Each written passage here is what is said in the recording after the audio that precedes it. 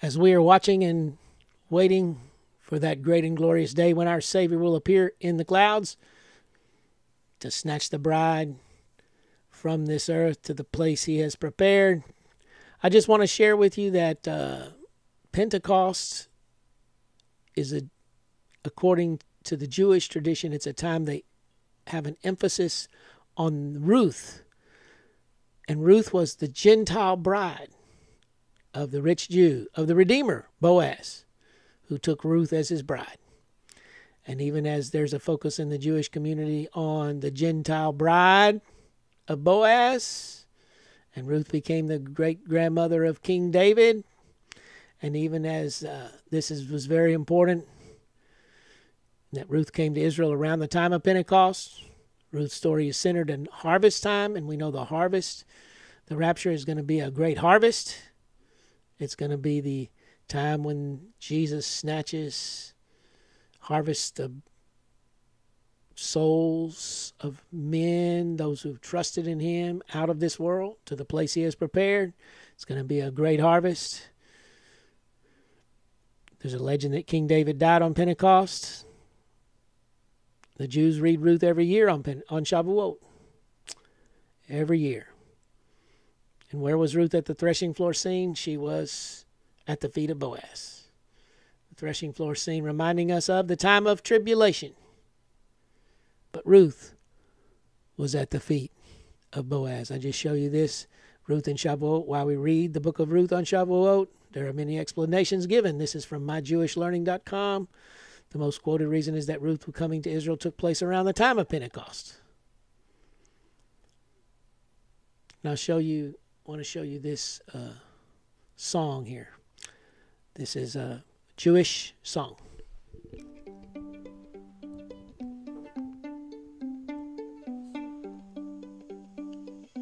Sometimes the journey chooses you and not the other way around. I don't know how, but I just knew that you lead me to sacred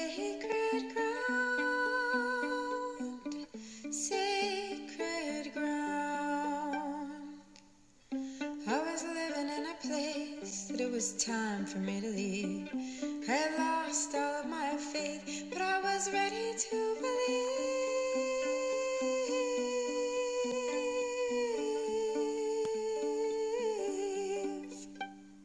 So where you go, I'll go. Where you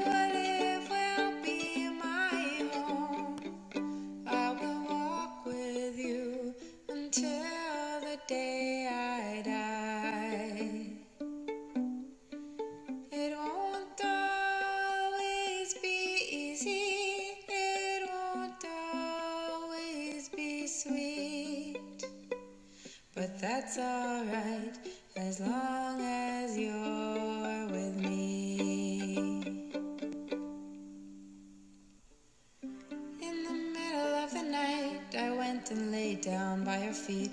I knew that if the time was right, you would welcome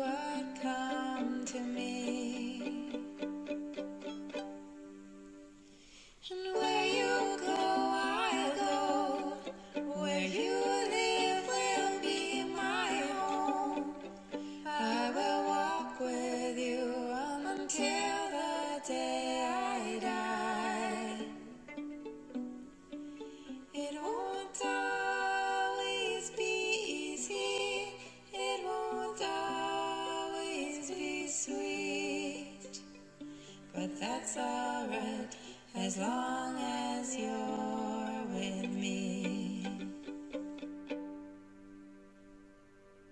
And all the people in the gate and all the elders they shall say, We are the witnesses today to this covenant you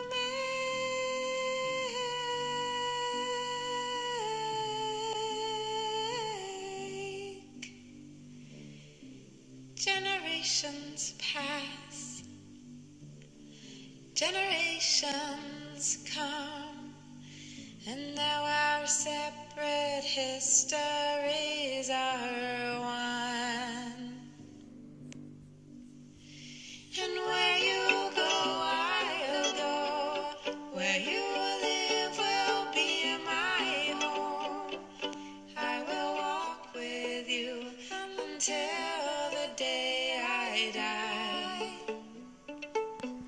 Dear friends, even as uh, we see Shavuot by the Jewish uh, counting is May 25th to 27th, and uh, Pentecost May 28th.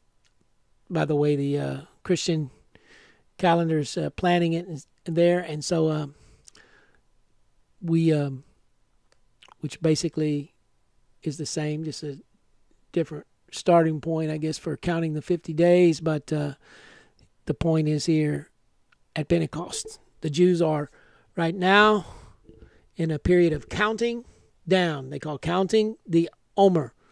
They're in the period of counting the Omer in expectation.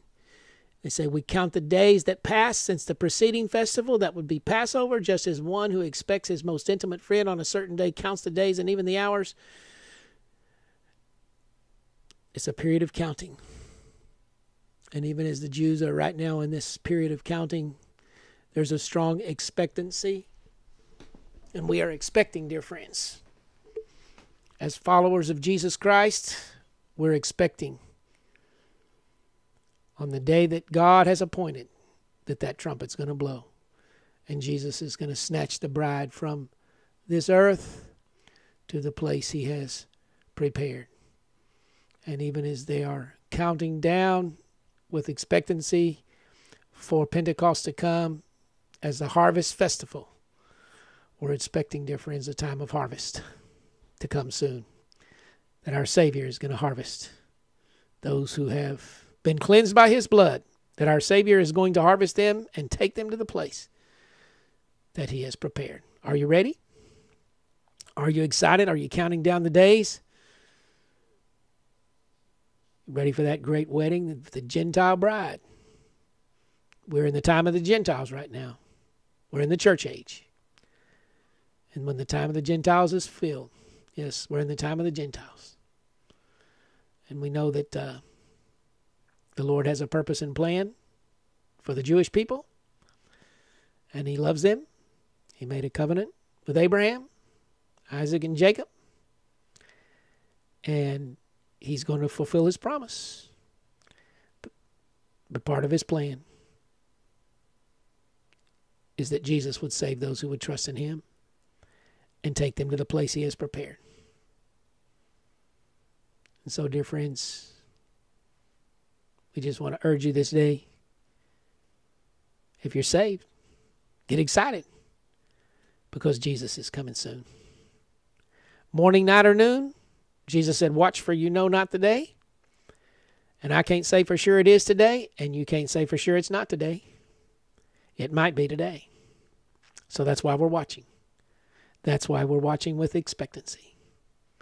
And as we come up to this time of Pentecost, when the, there's a Jewish emphasis on Ruth and the Gentile bride, remembering Ruth is the time of harvest time also, as we're coming up to this time, we have an excitement and a sense of expectancy that our Savior is coming for us. He loves you very much, and whether we live and suffer for Him and see Him soon in dying for Him or suffering for Him, praise His holy name. Or if we see Him when the trumpet blows and He snatches us out of this world, we praise His holy name. Live for Him today. Set your mind on Christ. Jesus Christ is coming soon. And He loves you. Jesus is coming soon, morning or night or noon. Many will meet their doom, trumpets will sound.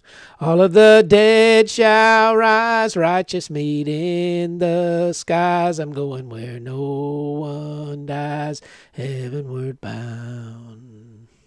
God bless you all.